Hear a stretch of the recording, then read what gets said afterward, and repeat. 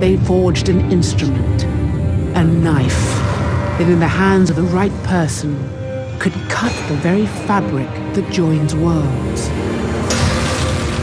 They christened that person the Bearer, and the knife they called the Subtle Knife.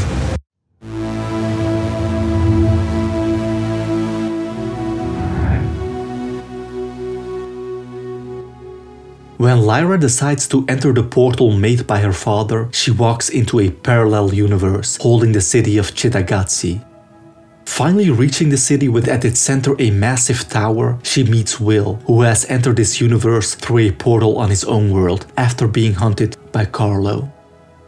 They quickly realize that the city is devoid of living adults and infected by specters. They then stumble upon two other young girls, Angelica and Paola. The two girls reveal to them that the specters suck the soul out of every adult they come across and leave their bodies behind as dried up husks.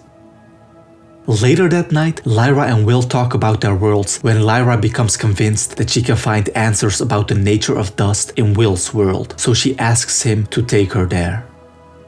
In Lyra's world, the Magisterium, led by Cardinal Sturrock, wants to close the portal since he believes the idea of a multiverse to be heresy, but Marisa persuades him to interrogate a captured witch for information about Asriel and the portal. However, after the captured witch has told Marisa that Lyra is the main ingredient of a witch prophecy and is on the verge of spilling too much information, the witch Ruta Skadi boards their ship and Mercy kills the witch and then escapes, but not before killing some soldiers and fatally wounding Cardinal Sturrock. Back in Cittàgazze, Lyra and Will use the portal Will came through and are directly transported to his world. However, their arrival has been witnessed by Carlo, who watches them pass by his car. Having to care for his helpless mother while still on the run for the accidental murder, Will tells Lyra that they will meet later at the Botanic Gardens and goes to meet with his grandparents to access his father's funds. However, instead of helping him, his grandparents rat him out by calling the cops, but a cunning Will realizes this and escapes before the authorities arrive. Meanwhile, Lyra visits scientist Mary Malone after the Alethiometer had told her that she could tell Lyra more about dust. In an enthusiastic spree of words, Lyra tells Mary about her world, dust, and its properties. Intrigued, Mary tells Lyra that she is researching dark matter and that Lyra's dust and her dark matter seem to be one and the same. She tells Lyra about the cave, a machine she has built to communicate with dark matter. When they then hook Lyra up to the cave, the machine tells them that Mary has something important to do and will need the I Ching book to do it. It also reminds Lyra that she has to meet Will at the Botanic Gardens. Once there, she reveals to him that the Alethiometer has told her that his father is still alive and that they need to find him. In Lyra's world, Cardinal Sturrock has died, causing the Magisterium to vow vengeance against the witches.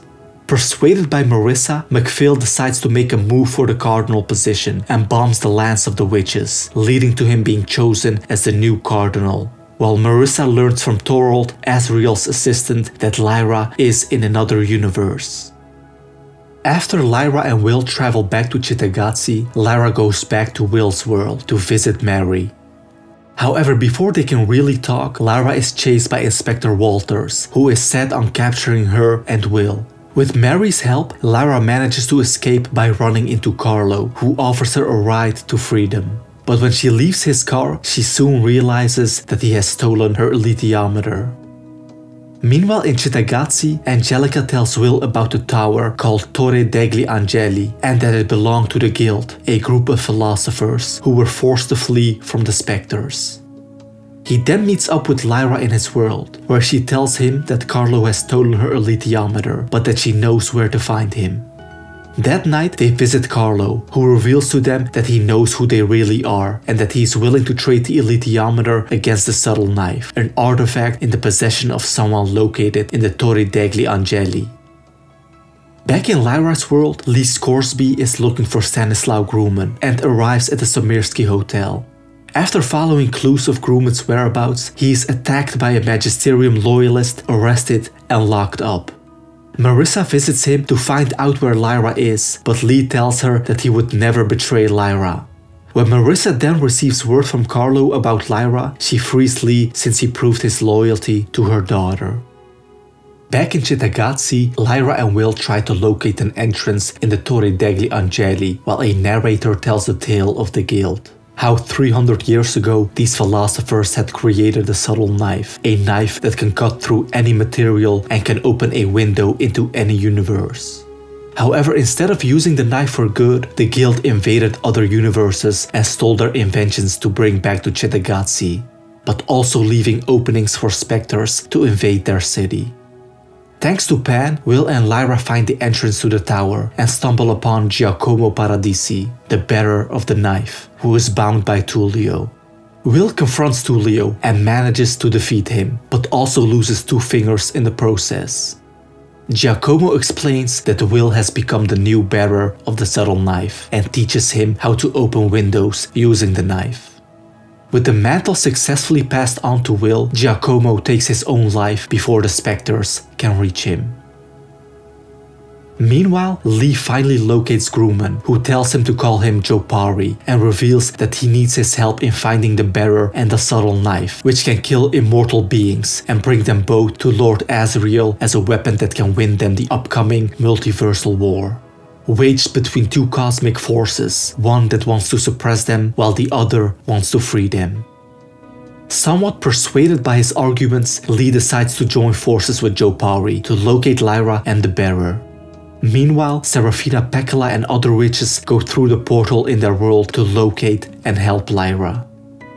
In Will's world, Mary is finally able to talk with the dark matter, which reveals to her that they are in fact uncountable billions of angels who have guided and intervened in human evolution for the sole purpose of vengeance. Now realizing the capabilities of the subtle knife, Lyra and Will agree that trading it for the Alethiometer is the worst deal in the history of deals ever. They decide to cut a window from Cittàgazze straight into Carlo's home to take back the Alethiometer. However, Will has trouble cutting a window and they need to find the right spot. Meanwhile, in Will's world, Marisa visits Carlo, who shows her around. While in the cave, the angels tell Mary that she must play the serpent and save the boy and the girl. With guiding tips from the angels, she locates a window in her world and steps through it into Cittàgazze.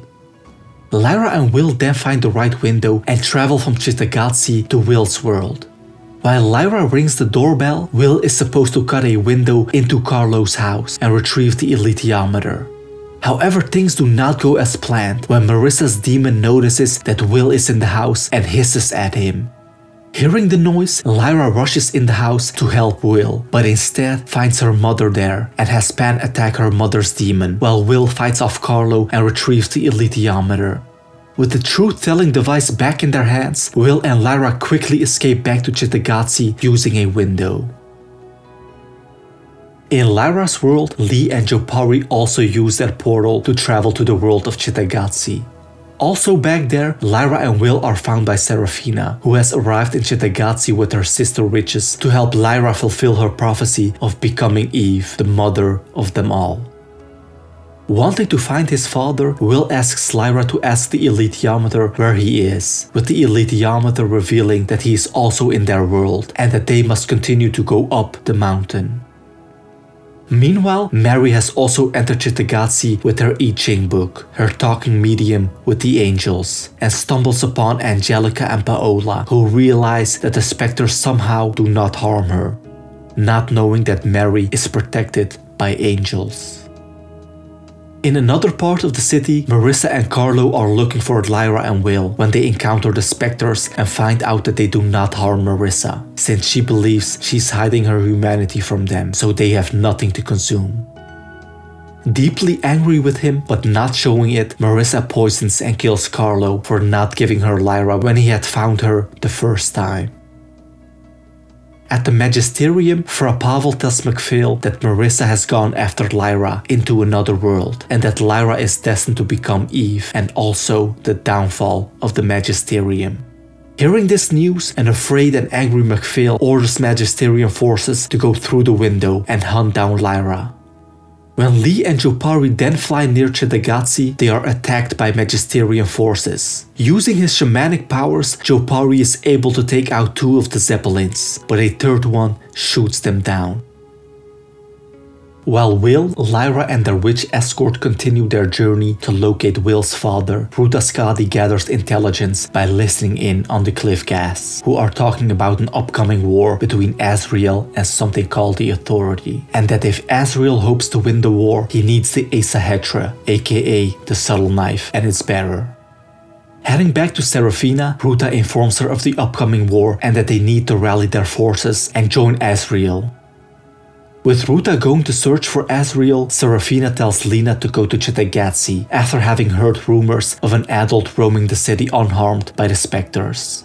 But when Lena arrives in the city, she is soon captured and killed by Marisa after having revealed to her that Lyra is the second coming of Eve. Meanwhile, Lee and Jopari are ruthlessly hunted by Magisterium soldiers, forcing Lee to sacrifice himself so that Jopari can find Lyra. However, before he died, Lee had called Serafina using Cloudpine, forcing the witch to come to his aid, but too late.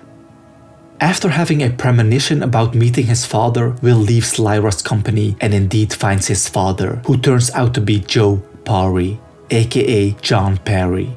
His father tells him of the important role he has to play in the upcoming war, but before they can further bond, a Magisterium soldier shoots at Will, but his father turns to the bullet and is killed instead. After having taken Angelica and Paola to their adults, Mary is guided on her mission by the I Ching book, while Marisa finds an unprotected Lyra and kidnaps her. With Lord Asriel's mission finally gaining momentum, he locates the angels and tells them that he wants to fight the evil forces in the multiverse, led by the Authority. He asks the angels if they are with him or against him, to which they reply that they are with him. Good. Then let us prepare for war.